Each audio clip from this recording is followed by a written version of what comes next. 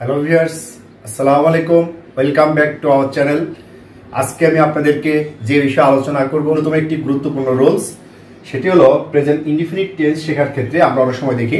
Present indefinite tense কিছু সুনির্দিষ্ট শর্তাধীনে গঠিত হয়। সেই শর্তগুলো নিয়ে আজকে আমরা আলোচনা করব। আমরা জানি যে প্রেজেন্ট ইনডিফিনিট টেন্সের অন্য আরেকটি নাম হলো সিম্পল প্রেজেন্ট প্রেজেন্ট ইনডিফিনিট টেন্সের স্ট্রাকচারটি আমি আপনাদেরকে জাস্ট একটু রিক্যাপ করে দিচ্ছি। সেটি হলো সাবজেক্ট প্লাস মূল ভার্বের base form plus object plus extension for example that I eat rice এখন আসুন প্রেজেন্ট ইনডিফিনিট টেন্সের শর্তগুলো আমরা দেখি। Number one universal truth universal ট্রুথের অর্থ হলো চিরন্তন সত্য। For example that the sun rises in the east অর্থাৎ সূর্য পূর্ব দিকে উদিত হয়। তো চিরন্তন সত্য বলতে আমরা কি বুঝি?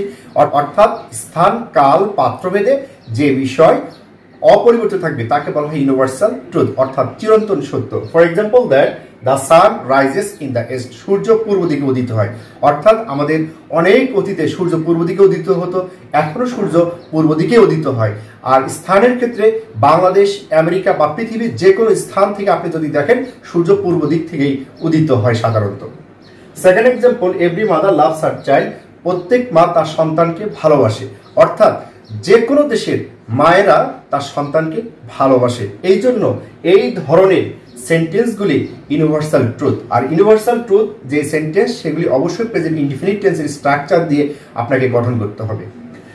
Number two historical truth historical ট্রুথের Bangla হলো ঐতিহাসিক সত্য। অর্থাৎ যে সকল ঘটনা ঐতিহাসিকভাবে ঘটে থাকে, সেই সকল ঘটনা বর্ণনা দিতে হলে আপনাকে ইনডিফিনিট টেন্সের স্ট্রাকচার দিয়ে বর্ণনা দিতে হবে। For example that Alexander hits India after conquering many countries of the Middle East অর্থাৎ সম্রাট আলেকজান্ডার, তিনি মধ্যপ্রাচ্যের অনেক দেশ জয় করার পরে ভারতবর্ষে এসেছিলেন।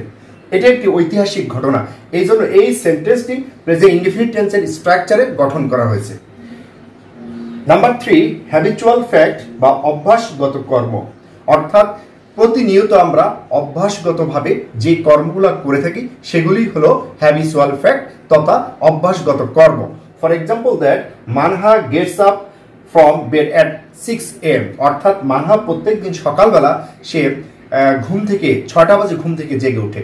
এখানে মানহার একটি অভ্যাসগত কর্মের কথা বোঝাচ্ছে। এই জন্য এটি প্রেজেন্ট ইন্ডিফিনিট টেন্সের স্ট্রাকচার দিয়ে করা হয়েছে। Second example he takes tea every morning সে প্রত্যেক দিন সকালে চা পান করে। অর্থাৎ এটি তার অভ্যাসগত কর্ম। এই জন্য এই সেন্টেন্সটি প্রেজেন্ট ইন্ডিফিনিট টেন্সের স্ট্রাকচার দিয়ে আমরা গঠন করেছি। ভিউয়ার্স এবার আমাদের কন্ডিশন নাম্বার ফোর সেটি হলো সাইন্টিফিক ফ্যাক্ট বা বৈজ্ঞানিক কর্ম। অর্থাৎ কিছু কিছু বৈজ্ঞানিক সত্য বা বৈজ্ঞানিক কর্ম রয়েছে, যেগুলি প্রেজেন্ট ইনডিফিনিট টেন্সের স্ট্রাকচার দিয়ে আমরা সেন্টেন্স গঠন করতে পারি। For example that hydrogen and oxygen convert into water অর্থাৎ হাইড্রোজেন এবং অক্সিজেন মিলিত হয়ে ওয়াটারে পরিণত হয়। এটি একটি বৈজ্ঞানিকভাবে প্রমাণিত সত্য কথা। নাম্বার ফাইভ ডেসক্রিপশন অর্থাৎ বর্ণনা। কোনো কিছু ডেসক্রিপশন তথা বর্ণনা দিতে গেলে আমাদের প্রেজেন্ট ডিফারেন্ট স্ট্রাকচার ইউজ করে সেন্টেন্সটি গঠন করতে হবে। For example that the day is very hot the cow has four legs এখানে দিনের বর্ণনা করা হয়েছে, এখানে গরুর বর্ণনা করা হয়েছে কাউয়ের বর্ণনা করা হয়েছে।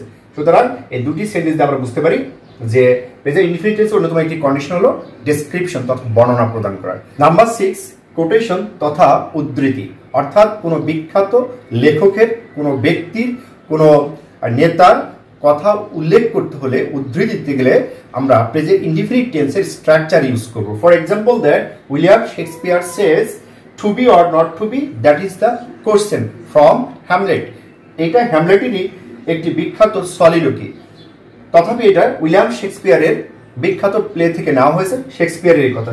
কন্ডিশন নাম্বার সেভেন কমেন্ট্রি বা কমেন্টারি অর্থাৎ কোনো খেলার ধারা বর্ণনা প্রদান করতে প্রেজেন্ট ইনডিফিনিট দিতে হয়। For example that Rajib hits the ball and it is a boundary অর্থাৎ ফোর অথবা সিক্স হয়ে গেছে। তো এরকম কোনো কমেন্টুলার কমেন্ট্রি দিতে গেলে আপনাকে প্রেজেন্ট ইনডিফিনিট টেন্সের স্ট্রাকচার ইউজ করতে হবে। নাম্বার এইট কন্ডিশন অর্থাৎ কোনো কাজে কন্ডিশন অর্থাৎ শর্ত প্রদান করতে। For example that if he comes I will go with you যদি সে আসে, তাহলে আমি তোমার সাথে যাব। এটি এক ধরনের শর্ত প্রদান করা। Second example if the sun rises there will be no fog যদি সূর্য উদয় হয়, তাহলে কোনো কুয়াশা থাকবে না।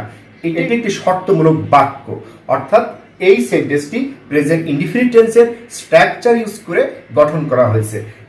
Condition number nine present action অর্থাৎ বর্তমানে কোনো ঘটনা ঘটছে, এমন ঘটনা বর্ণনা করতে প্রেজেন্ট ইনডিফিনিট টেন্স ইউজ করা হয়। For example that the baby sleeps শিশুটি ঘুমায়।